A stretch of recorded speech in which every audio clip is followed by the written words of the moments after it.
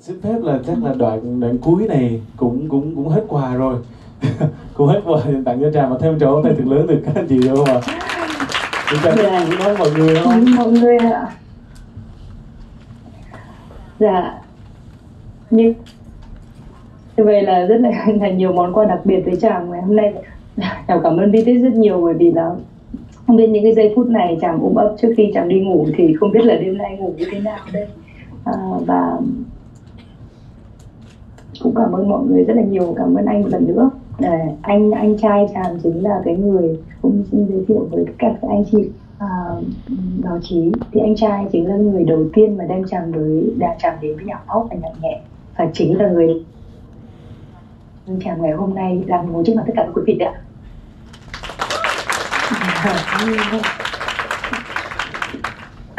em chỉ nhớ là lúc mà anh ờ, anh trai chàng phải tách tách hai anh em rất là thân hồi bé phải tách nhau ra để anh học nhập viện. Thì một cái cái tài sản vô giá mà anh để lại cho cha.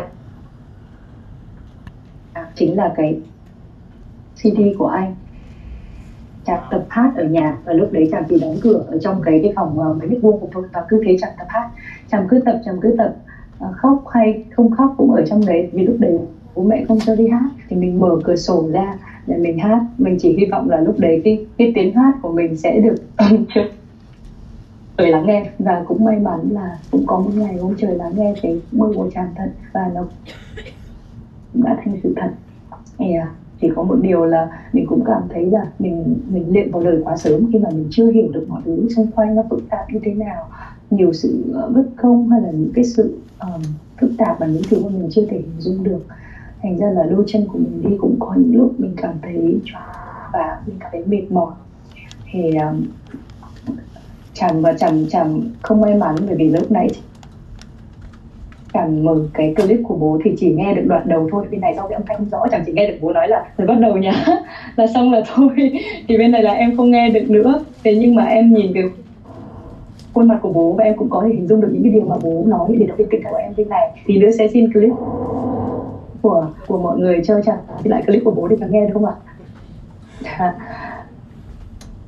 Dạ thì chẳng biết được ờ, có lẽ là bố sẽ động viên tinh thần của mình ờ, lúc mà mình một thân một mình bên này. Thì uh, chàng cũng muốn nói với cả ba mẹ. Thì, ờ, tất cả mọi người ở nhà là em sẽ cố gắng hết sức. Bởi vì chẳng biết được rằng cái thời điểm này cái, cái thời điểm khó khăn này thì cuộc sống độc lập kể cả nỗi cô đơn cũng dạy cho mình rất là nhiều điều. Và đó chính là những bài học trưởng thành mà chàng phải học lấy, chứ không ai có thể học hay được cả thì à, không biết là đối với mọi người là như thế nào, nhưng mà đối với chàng thì khi mà nói đến nhà thì khẽ khúc. Không phải là căn nhà mà mình về để mình ngủ mỗi đêm hay là mình lưu chuyển mỗi khi mình chuyển đổi công tác hay học tập, mà khi mà đã nói đến nhà thì chỉ có một căn nhà trong tiềm thức của chàng thôi. Đó là căn nhà có bố con có anh chị em của mình có đám bạn tuổi nhỏ và có những cái kỷ niệm không thể nào có thể thay thế được. Đó chính là căn nhà trong tiềm thức của chàng và để đi đâu, để nhớ và để hướng về thì chỉ có một căn nhà duy nhất đấy thôi. Đó chính là cái điều mà chàng nghĩ, cái thông điệp của Vitis rất là rất là chạm đến các bạn trẻ. Và đó sẽ là một thông điệp tuyệt vời cho tất cả các bạn trẻ đi xa. Nếu như các bạn chẳng luôn gặp những cái bạn trẻ bên này và nói là các bạn có ý định hướng về được quê hương sau khi học tập và làm việc thành công thì luôn luôn hãy hướng nó về, hướng nó để trở về bởi vì khi và các bạn cảm thấy là các bạn thành công và các bạn có một cái nguồn cội để các bạn cố gắng thì các bạn sẽ cảm thấy sức mạnh của mình lớn lao hơn, mình sẽ cống hiến với một cái tầm vóc lớn hơn. À. cảm ơn rồi bây giờ xin phép? Uh, cho quay lại cái màn hình KV màn hình nền để tràm thấy là hình KV của MV đi để trở về mùa Tết thứ năm. Có hương tràm đẹp như thế nào và xinh như thế nào nhá. Và có thể nói đây đây xin cho quay lại màn hình KV trà vẫn đang nhìn thông qua được uh, cái điện thoại này.